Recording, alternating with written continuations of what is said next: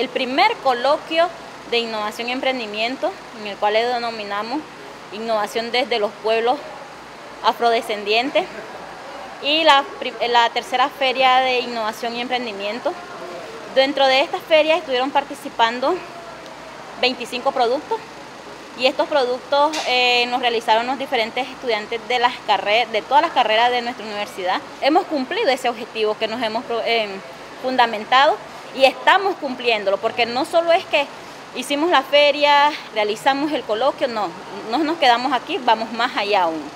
En el coloquio participaron diferentes eh, panelistas de, de los pueblos afrodescendientes y también mestizos. Vinieron autoridades de las diferentes instituciones y nos compartieron cada, qué hacen ellos con los temas de emprendimiento, qué hacen, qué actividades tienen y cómo, qué proyectos tienen ellos, cómo han venido desarrollando y quiénes son cada uno de los beneficiados.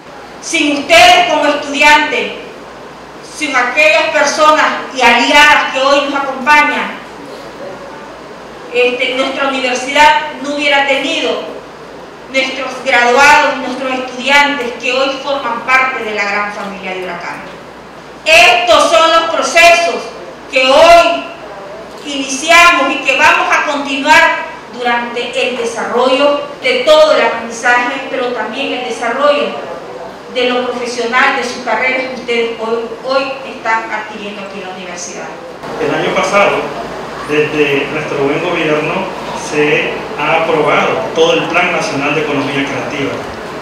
Se ha aprobado la estrategia de aprender, emprender, prosperar que se trabaja con todo el sistema educativo.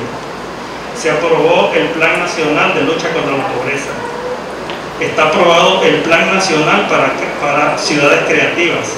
Y es así que en mayo de este año fue declarada Ciudad Creativa, Bluefield. Pero ¿qué significa eso? Eso significa mucho y una gran responsabilidad. Eso significa que si en los temas del contexto y las tendencias, la innovación y el emprendimiento son cosas que se están dando, son cosas que tenemos que impulsar fuertemente. Y qué mejor que impulsar estas cosas desde lo propio. Ese es el plus de nosotros. Muchas veces hablar de innovación y emprendimiento creemos que es de grandes empresas, de grandes transnacionales la innovación se da desde la familia, desde la comunidad, desde hacer el gallo pinto, desde hacer el, el rondón de una manera diferente. Ahí ya se viene dando el emprendimiento y la innovación. Hacemos todo lo que es decoración para fiestas, cumpleaños, aniversarios. Tenemos una página, se llama Fábrica de Piñatas Chenil y también nos pueden hacer pedidos al número 89 04 35 12 vos fuiste uno de los beneficiados con el Fondo Semilla. ¿De qué manera esto va a venir a aportar en tu negocio? Sí, eh, una de las cosas que, como te decía, estamos innovando en el tema de arreglos eh, de fiesta. Entonces queremos comenzar con el Fondo Semilla que nos va a ofrecer Huracán. Eh, nosotros queremos ah, adquirir lo que son los equipos para las decoraciones de esta fiesta. Entonces ya no vamos a tener nosotros que alquilarlo, sino que van a ser propios de nosotros y eso nos va a permitir pues que tengamos un mayor ingreso más estable.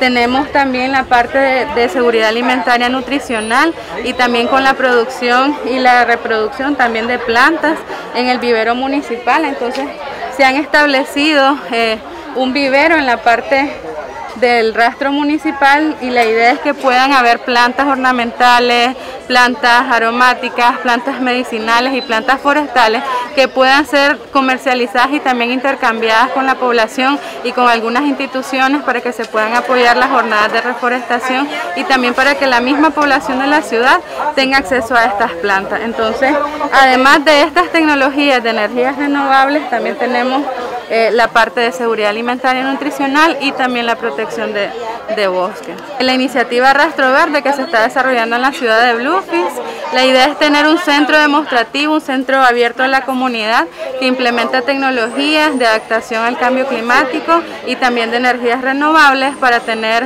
un rastro autosostenible y lo, como puedes ver en la maqueta tenemos todas las tecnologías que están instaladas en el rastro puedo hacerte un recorrido por la parte de aquí.